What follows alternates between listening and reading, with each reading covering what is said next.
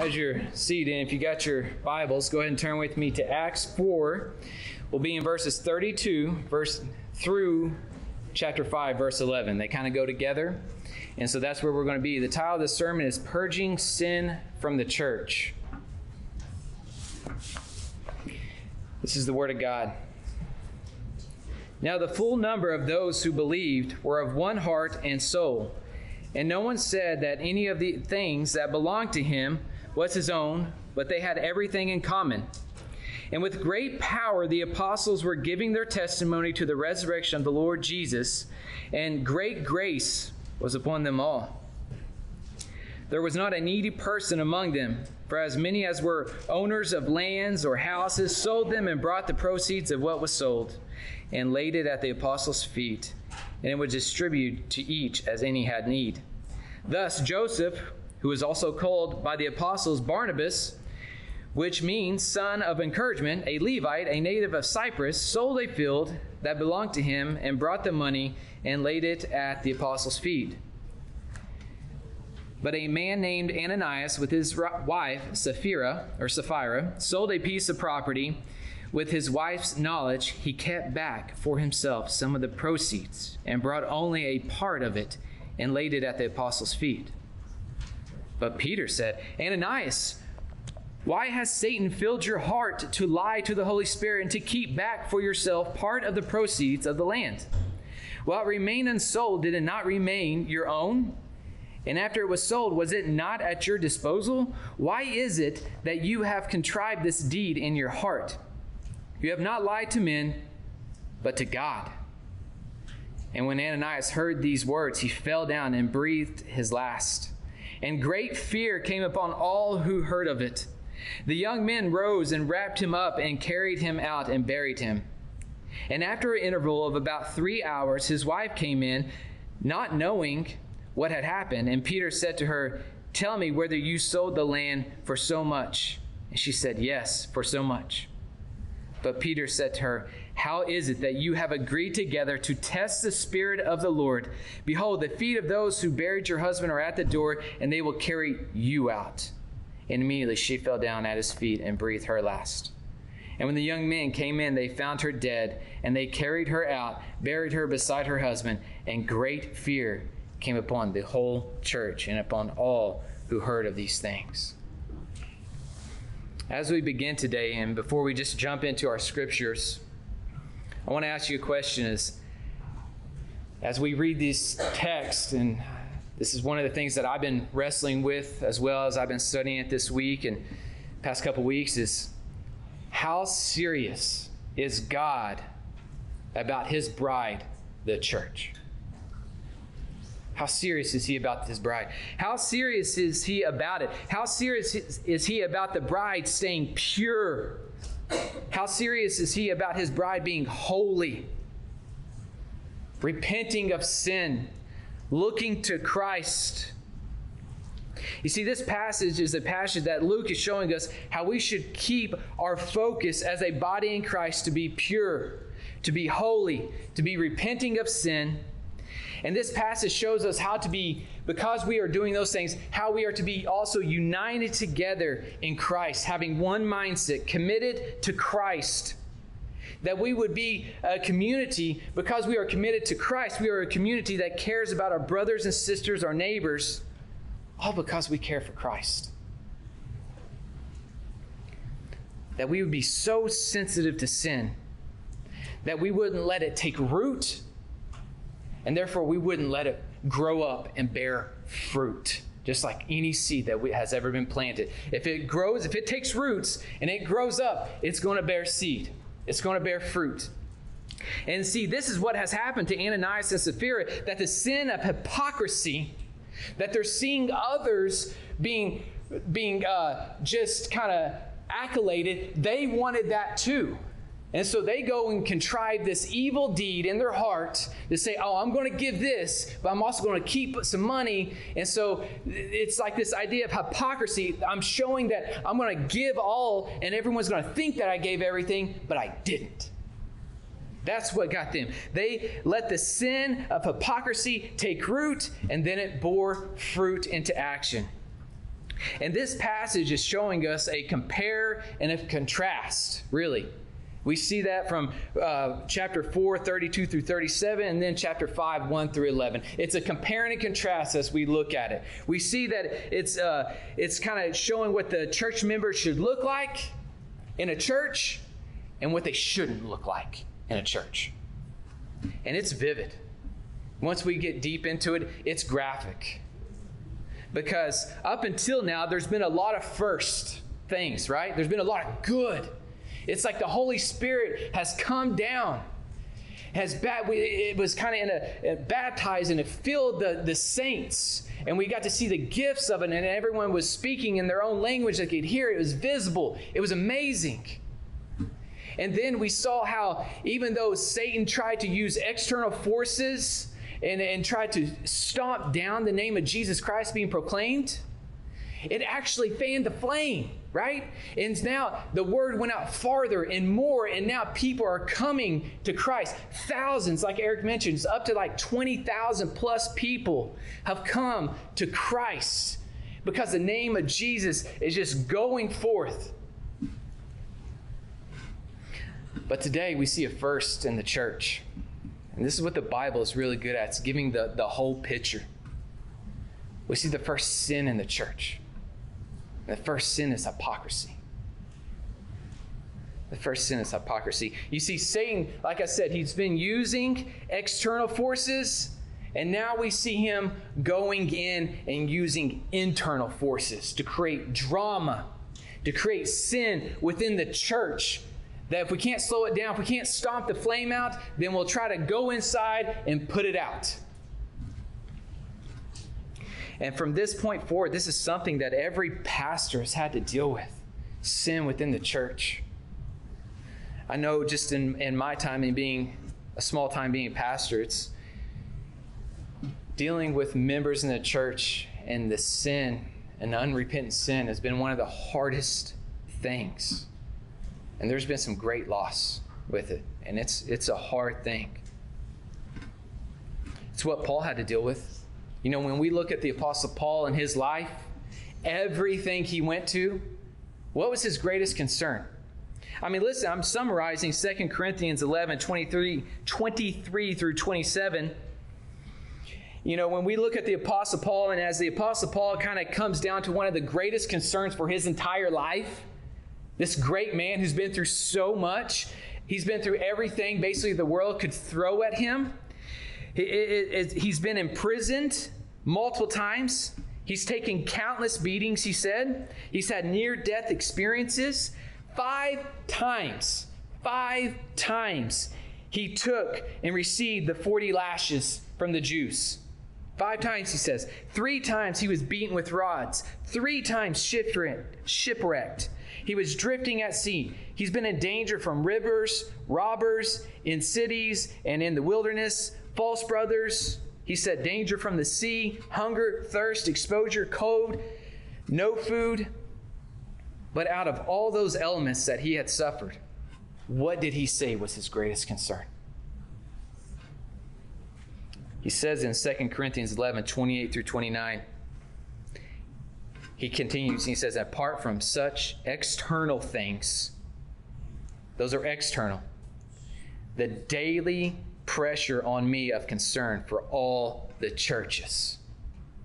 Who is weak without me being weak, who is led into sin without my intense concern. The greatest thing that daily stuck at him was his concern for the church and the concern of the church going into sin. That was his greatest concern. Paul had an intense concern for the church being led into sin. So much so, that's what he, he wrote to in Romans 16, 17 through 18. He says, Now I urge you, brethren, keep your eye on those who cause dissension and hindrances. Keep your eyes on those who are causing drama. Why? Contrary to the teaching which you learned, and turn away from them. He says, Turn away from them. For such men are slaves not of our Lord Christ, but of their own appetites and their own smooth and flattering speech, they deceive the hearts of the unsuspecting. He's telling the church, keep eyes on those who are creating drama, right? Because that's not from our Lord Jesus Christ. That's not from his heart. He says the same thing in Galatians 1 6 to 7. He says, I'm amazed that you are so quickly deserting him who called you by the grace of Christ for a different gospel, which is really not another, only there are some who are disturbing you and want to distort the gospel of Christ. See, by distorting the gospel, distorting the message, you're going into sin. And he goes on to say, let them be anathema, let them literally be cut off. And so, this is what he says in basically every one of his epistles. He's addressing something to the church. And he says in Philippians 2 1 through 2,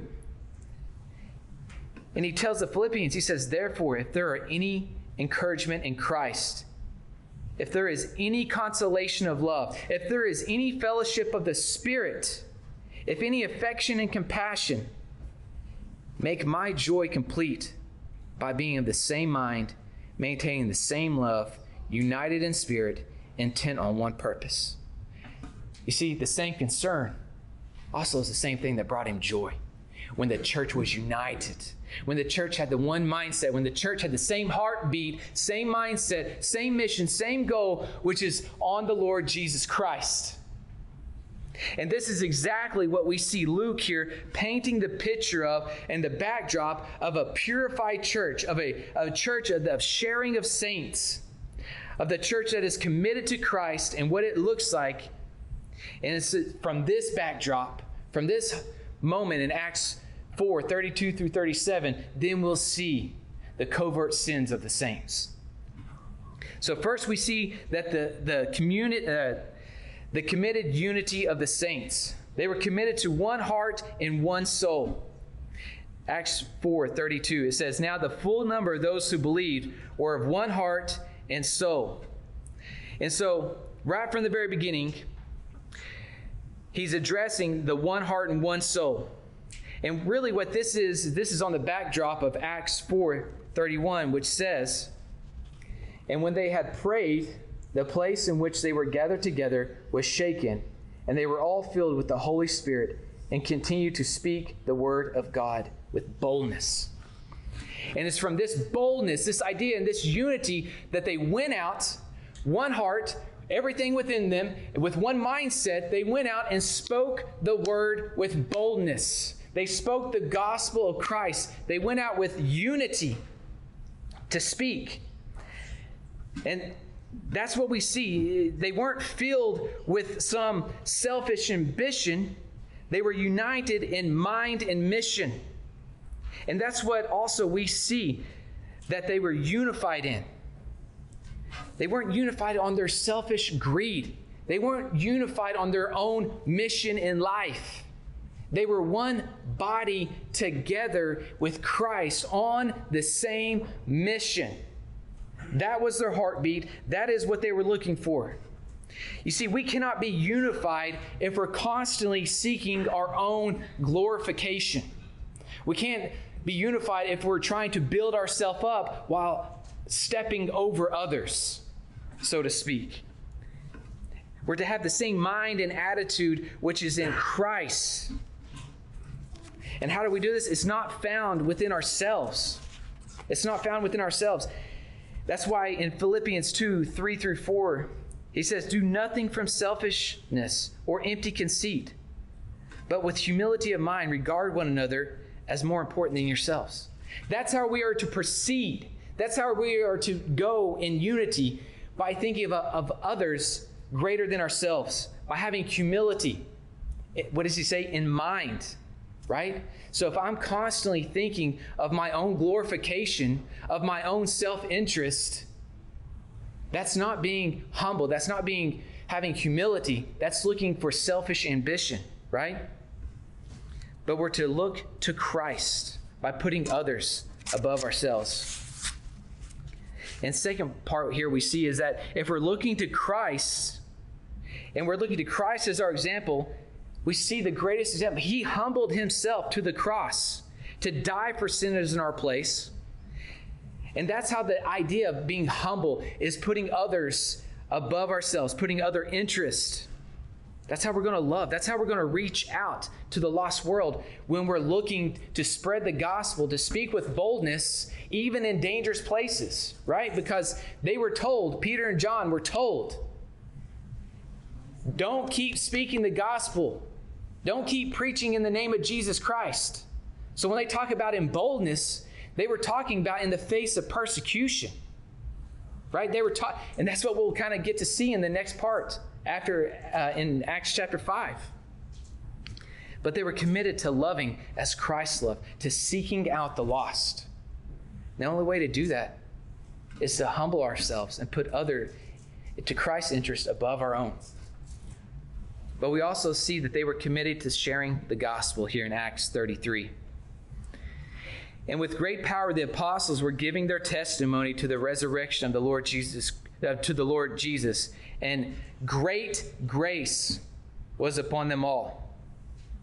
So, like I said, they were sharing the gospel even in the face of per- persecution, even though that they were forbidden to speak in the name of Jesus.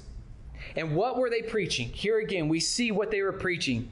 And I know we've talked about they were preaching the resurrection of the Lord Jesus. They were making people face the fact that they had witnessed and they are testifying to their witness that they had seen the resurrection of the Lord Jesus. That's like someone coming up to you today and saying, Hey, I've seen someone who was resurrected. You're going to have to face the truth of either A, I'm going to believe this, or B, I'm not going to believe this, right? Because we understand people live and die, but no one is ever resurrected. So they're facing the fact that they are witnesses to the resurrection. Even though that they were forbidden.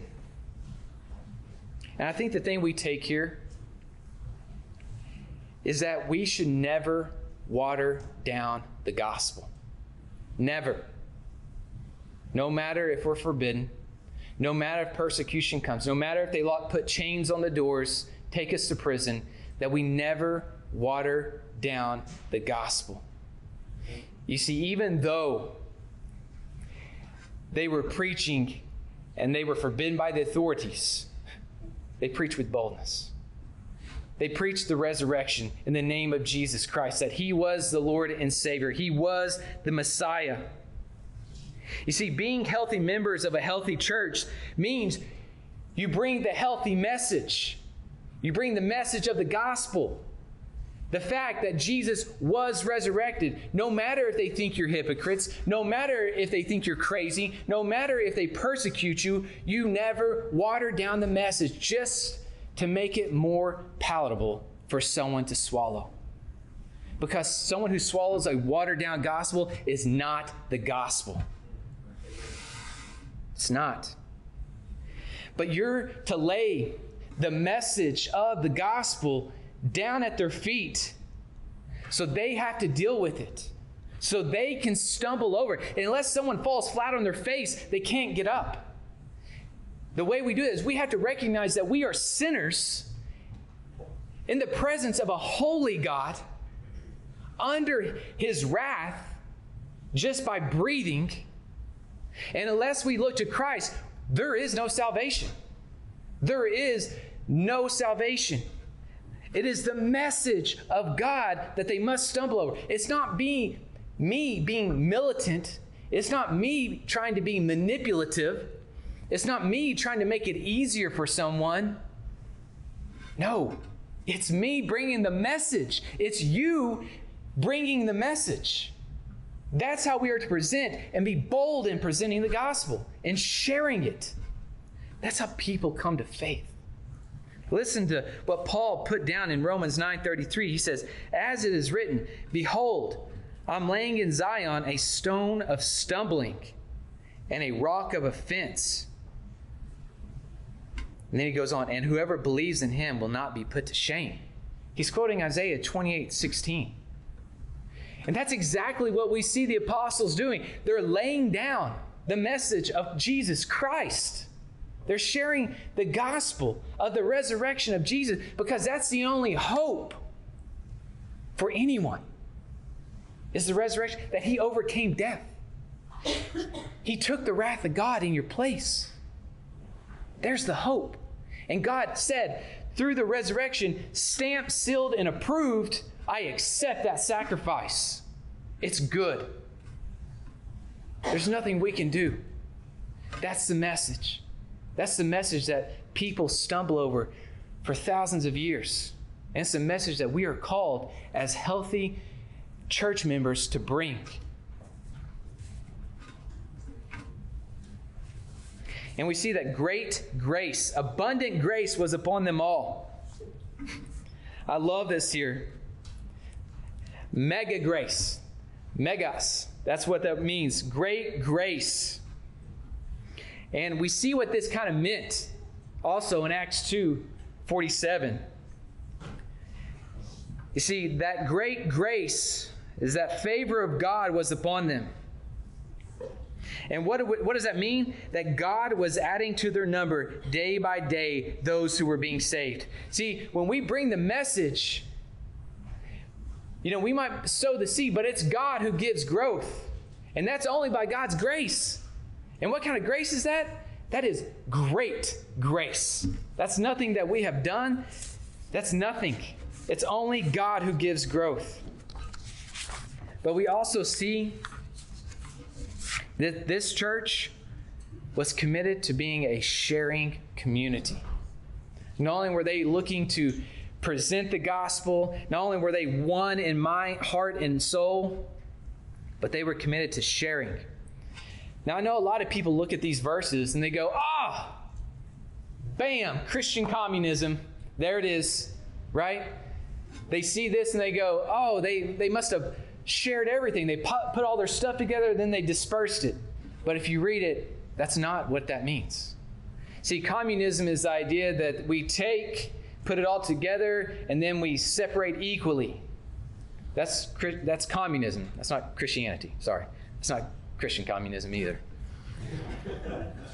No such thing. But once we kind of understand the context of this, you'll kind of see what it means right? Because during this time, there weren't churches on every corner, guys, right? The, people had traveled to Jerusalem. People had moved from Jerusalem. That's what we saw with Barnabas. He was from Cyprus, but he had moved to Jerusalem, right? So people had moved there, traveled there, had no job, really had no land. They were in need. And so we see the church seeing that need and seeing that love for the brothers in Christ they were liquidating their assets. And they would come down, so they would hold church services daily, right? And then they would come down at the apostles' feet and lay down their money. And the apostles then would distribute to those who had need. That's the way the system worked. They had daily giving. And so daily people were selling, liquidating their assets to lay it down for those who had need. That's what the, the, the sharing of the community looks like. Seeing your brothers in need and caring for them sacrificially. That's what it looks like. And we see in, in verse 32b, it says, But none of them, and no one said that any of the things that belonged to him was his own. So they understood, we see a healthy view of what possession looks like here in the church for Christians. We understand that what God has blessed us with is not our own. But it's they didn't look at it and go, "Oh, that's mine." That's oh, that's mine. Yeah, uh-huh. No, they looked at it as saying that God had given them these goods so they could distribute to everyone who had need. And we see in verse 34 there was not a needy person among them. For as many were owners of lands or houses, sold them. They liquidated them and brought the proceeds of what was sold and laid it at the apostles' feet. And it was distributed to each as any had need. See, what this doesn't mean is that you should not work. You know, at one time in my life, I was part of a church that kind of had the idea, and it's not popular, but it was kind of more of the opposite of the prosperity gospel. They looked at this and kind of looked at the idea of communism. And so it was kind of this idea of this uh, poverty gospel. And so it, it was a little different. It was kind of a different mindset. And so if you had need, you know, you would just kind of shift money around or funds around and, and you would kind of be a part of that. But it doesn't mean that we should not work. We should work. We should go out and make a wage. Right? That's biblical. And it doesn't mean that there weren't or rich people. It just means that those who had goods sold them to those to help those who are in need. And that's the right view of how we see giving should be. It should be sacrificial. In 1 Timothy, I kind of want to point this out 6, verses 17 through 19. It says, For the rich in this present age, because he, he, he, addresses that there, there are those who have goods, charge them not to be haughty, nor to set their hopes on uncertainty of riches. See, if you have goods, there's a way that you are to view. You're not to view yourself greater than someone who has none.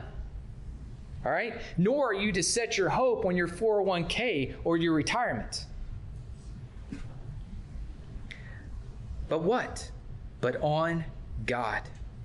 That's where we need to be at.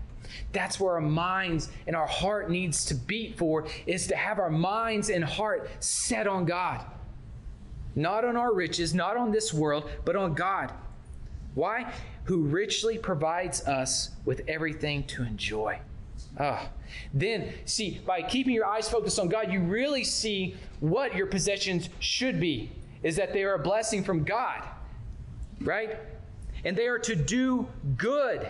See that? You're to use them for good. To be rich, not in, not in goods, not in possessions, but in good works to be generous and ready to share, thus storing up treasures for themselves as a good foundation for the future. So, where's that future? So that they may take hold of that which is truly life. Your, your possessions is not your life. Your possession, which is truly life, is God. And what is this life? It's Galatians 2:20. It's to remember that you have been crucified with Christ. It's no longer what he says, it's no longer I who live, but Christ who lives in me. And the life, there it is, the life that I now live in the flesh, I live by faith in the Son of God who loved me and gave himself for me. That is how we are to view living life and being part of a sharing community is that we are part of Christ, and the same spirit that dwells in us dwells in our brothers and sisters who are in Christ, and that we are to have a loving heart for them and a loving heart for the lost. And that we are to use our goods to, to do good works to seek after Christ. And Luke, he gives us an example of this as the commitment of a sharing person in Acts 4 36 through 37, he says, Thus Joseph, who is also called by the apostles Barnabas, which means son of encouragement, which, you know, if you had to be named by the apostles, man, what a name, you know? I wonder what some of our names would be. Maybe some of us don't want to know. But a Levite, a native of Cyprus, sold a field that belonged to him and brought the money and laid it at the apostles' feet. You see, what's amazing about this, it's kind of an showing, Luke is kind of showing that there's a new covenant, and it's Christ. You see, because Levites were not able to own property. But we see that he was from Cyprus, the island of Cyprus. He had transferred to Jerusalem, acquired a piece of property, whether from Cyprus or in somewhere around Jerusalem. So, for a Levite to do that during that time was no easy task. That was no easy task at all. But he saw the need. He saw the need of his community. He saw the need of his brothers and sisters in Christ. And he sold that property, and he wasn't looking for any accolades, he wasn't looking for any praise, but he simply walked up and gave the funds at the apostles' feet. There was no law that said he had to do that. There was none. There was no mo- law that said, oh, hey, you only have to give this much. But he gave it all. What an encouragement for us. What encouragement as we look at this example of a man that we would see his faith. We would kind of see his heart that as Luke is pointing him out here. How encouraging is that for us? How encouraging it is that Luke is showing him here as an example of what a cheerful giver looks like. That's what he's showing here. But he's also showing him as a sharp and stark contrast to Ananias and Sapphira. And I think in doing so, we kind of see where who we need to follow and what we need to be like with Barnabas. You see, the next part here is we see the covert sins of the saints. And this is the backdrop as we look to Barnabas that we see Ananias and Sapphira, who I want to be upfront and honest. I believe, after studying in this text, I believe that they were believers, that they w- did trust in God. And I think I can say that because um, even though some commentaries disagree, but a lot of them that I read did agree that they were believers. And I say this because I think we see this in the context that we they're in the context they were among believers.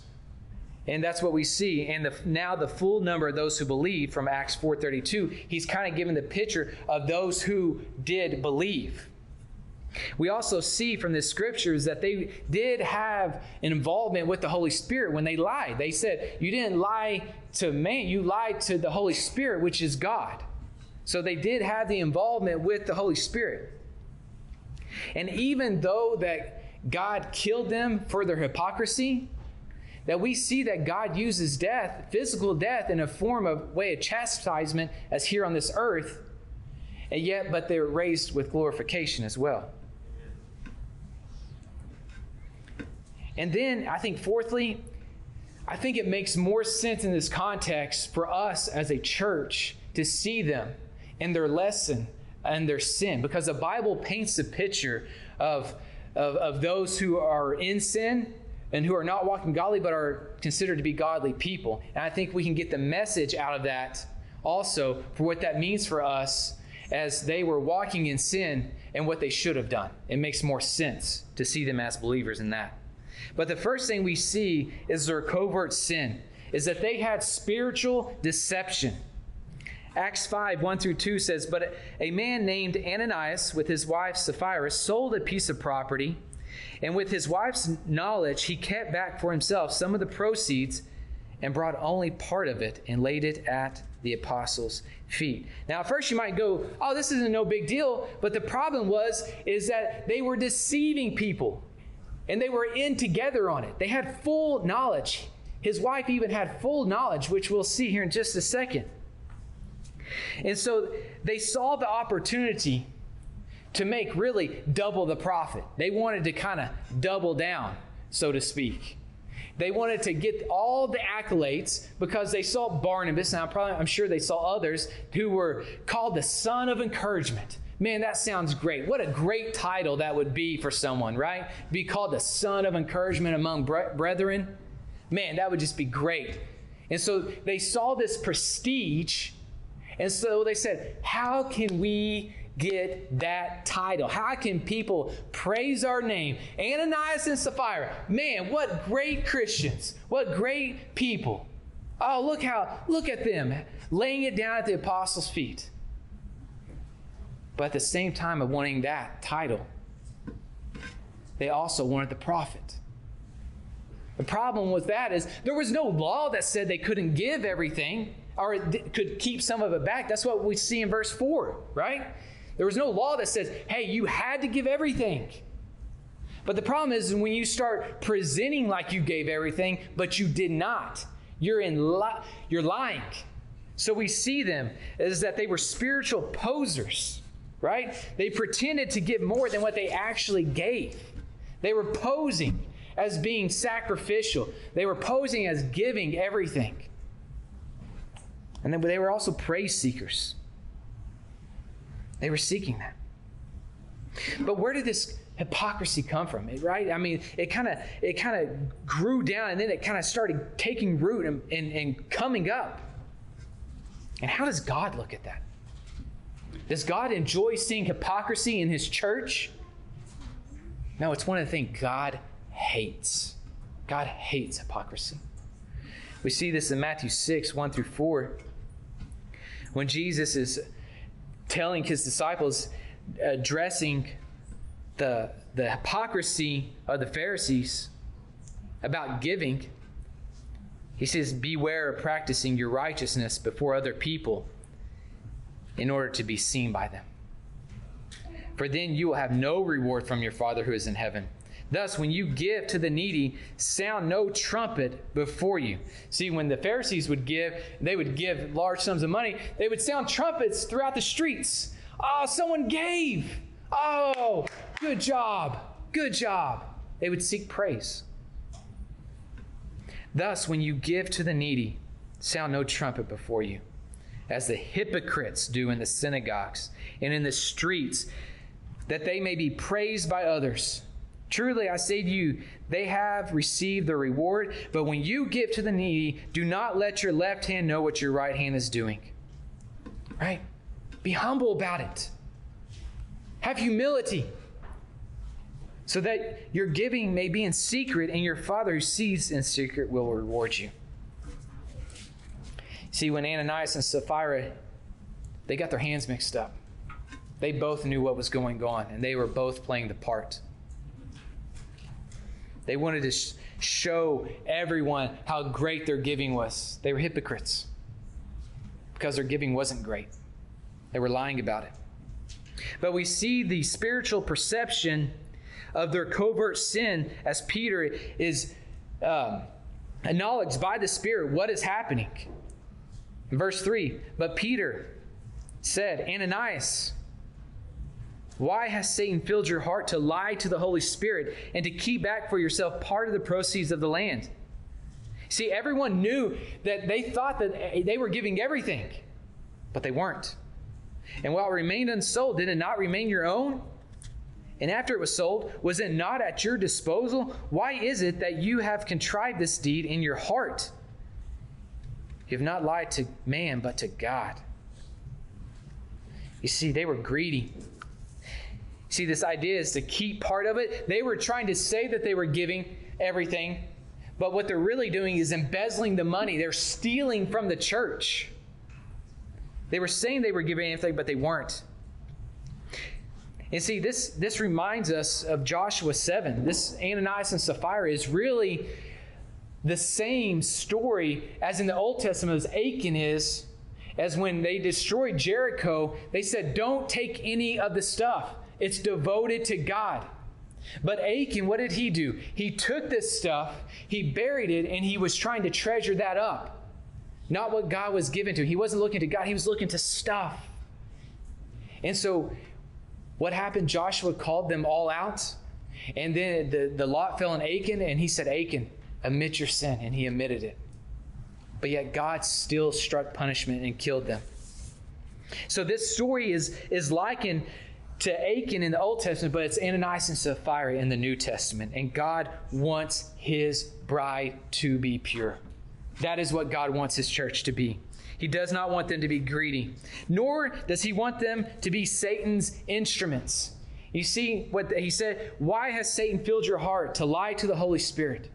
So we knew that they were involved with the Holy Spirit. They had their involvement there. They but yet they opened the door for Satan to come in and to fill them with this hypocrisy, which then they did not repent of it, and it took root, and it grew and it grew until it bore fruit.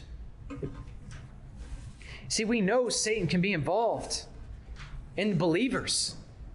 To think that they can't is just really asinine.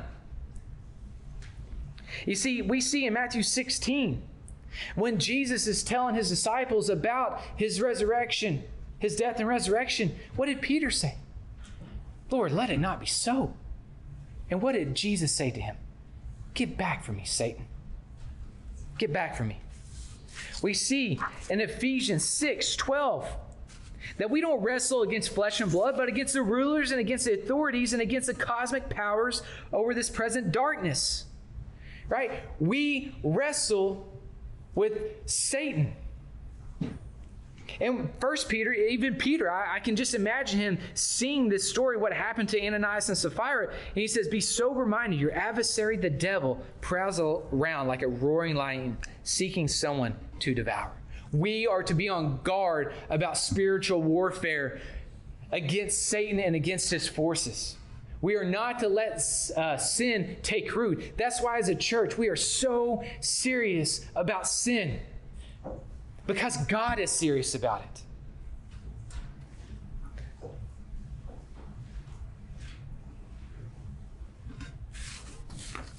But we also see who is ultimately responsible for sin, right? It's no excuse to say, Satan made me do it. You see, we live in a world today where people struggle with certain things with homosexuality, and it's just, oh, I was born this way. Or, you know, I, I'm, I'm born with the genes of alcoholism or whatnot, or any type of struggles. We like to pass off judgment, is my point. Just because Satan is tempting us doesn't mean the bottom dollar starts, stops with him. We are responsible for it. I think that's what we see too. You see, the responsibility for the sin rests on Ananias and Sapphira. And we are responsible for our sin. That's why there was swift punishment on Ananias and Sapphira. Listen to this. And when Ananias heard these words, he fell down and breathed his last. And great fear came upon all who heard it. The young men rose and wrapped him up and carried him out and buried him. And after an interval of three hours, his wife came in, not knowing what had happened. And Peter said to her, Tell me whether you sold the land for so much. And she said, Yes, for so much. But Peter said to her, How is it that you have agreed together to test the Spirit of the Lord? Behold, the feet of those who have buried your husband are at the door, and they will carry you out. And immediately she fell down at his feet and breathed her last. And when the young men came in and they found her dead, they carried her out and buried her beside her husband. So after and after Peter addressed and acknowledged the sin and confronted the sin, and that's what we are to do, we're to confront sin and brothers, right? God brought judgment, swift punishment. And he fell down, dead. Whether he died of a heart attack or some unknown cause, we don't know. Bible doesn't say, but he died right there as punishment. And so what happens is that they went out, and just because of the time during that time that if someone died, and especially a believer, they buried him, usually within three hours. So that's why it says after three hours, and Sapphira came in, she lied as well, boom, died as well. And then they took her out and buried her as well. And I think this is important here. I think this is very important for us, especially a lesson that we see for, for women too is that sometimes it is sinful for a wife to submit to her husband. When she puts her husband before God and follows her husband in sin, that is sin. First and foremost, she is to submit to God, and her husband is to lead her in godly ways. A lot of times, I speak to a lot of people that they talk about how, well, I invite him to church. Well, my husband doesn't go. Yeah, but you are still to submit to God and go to church. And we see that a woman is to first, she first belongs to God.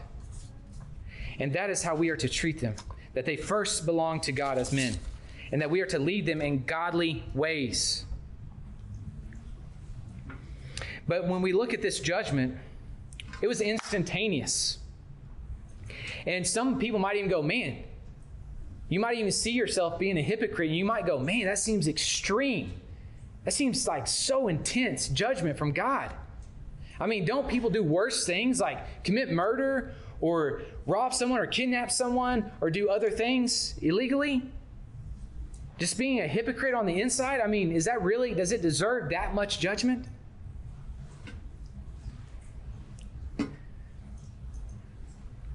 You see, you might minimize this offense.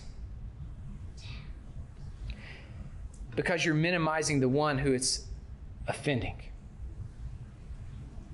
You see, grace, when you look at grace, I'm like, man, I, I know God, it, it, grace is not a free pass to sin, but it's a pass to be free from sin. Right? It's, it's not for us to just go on sinning. You see, the action of God was meant to impress upon the church the seriousness of sin to the saints. The point here is that God is wanting his church to be pure and he's wanting it to be holy. In order for that to happen, there must be a healthy fear of God. That's what we see it cost. And great fear in verse 11 came upon the whole church and upon all who had heard these things. You see, there was a great fear. And that's what church discipline does, right? When we confront sin as a church, as a whole, it creates a fear of God. It takes us to have a, uh, it makes us self examine ourselves, right? So you can just imagine people during this time, Ananias, you know, as they died literally and God punished them and disciplined them in front of the whole congregation, thousands of people. I don't know who it was, but someone said, man, you could just imagine the offering the next day, right?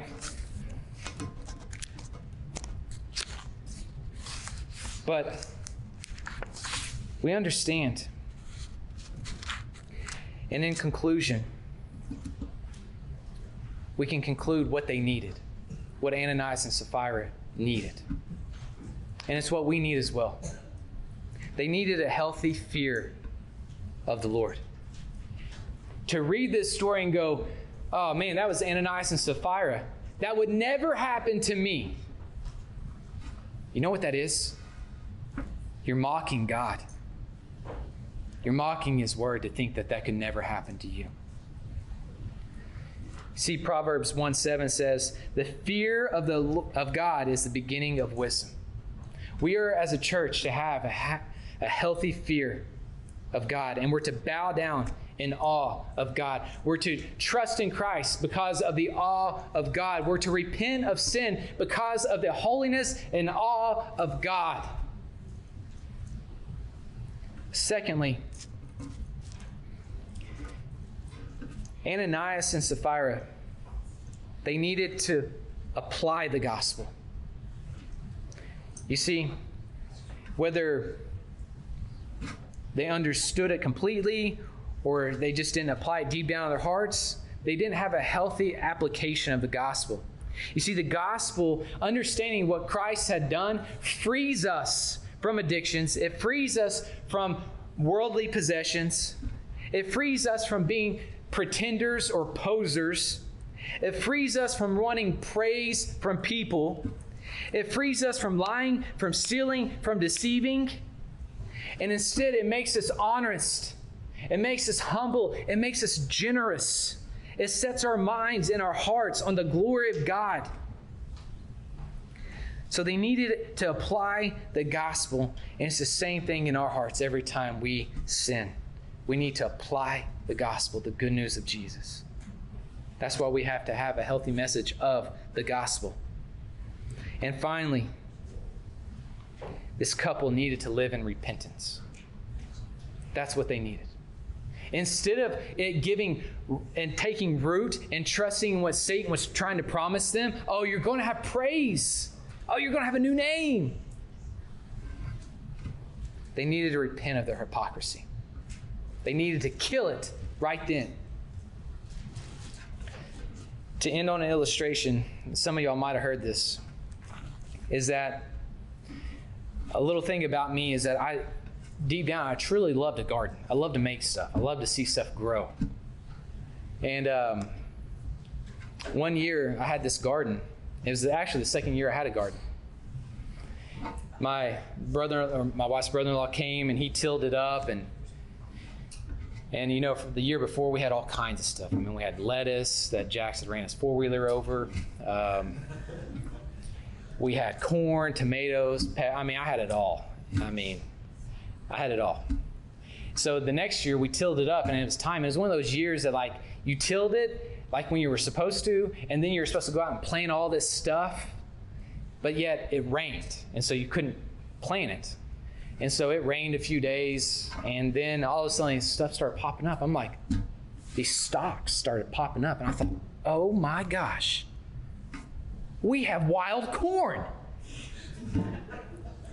And so, you know, then it rained a couple more times. I couldn't pull them, I couldn't kill them. So they, I just like, man, wild corn, this is amazing.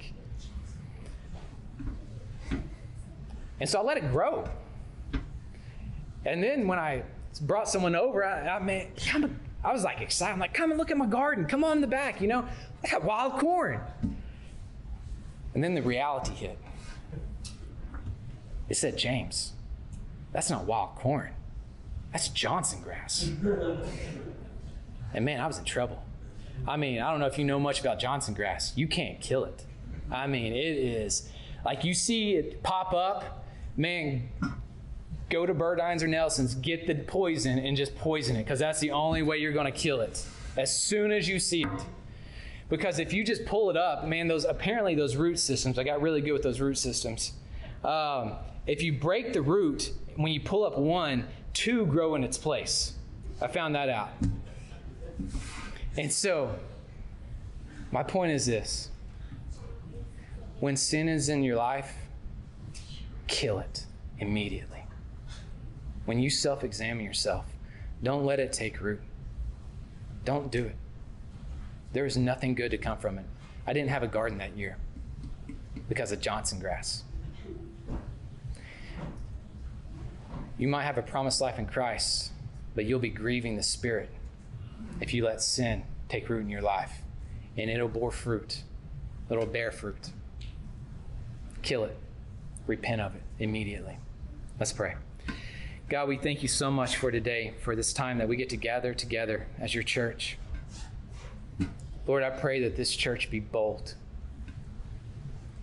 that they would be bold in preaching the gospel that we would be bold to have unity in this church, to have one mindset, one heartbeat, that we would be one body that moves together to look, to spread the gospel to each other, to care for each other and our needs, and to seek and to see the lost being saved through the message of Jesus Christ. God, let us also be a pure and holy church, purging ourselves of sin, repenting of it not letting it take root and bear fruit, but God, that we would kill it immediately, trusting in Christ, looking to Him. Even though we wrestle in the flesh, God, let us remind ourselves through your word that our life is hidden with Christ. It's not us who live, but it's He who lives in us. It's in Jesus' name I pray. Amen.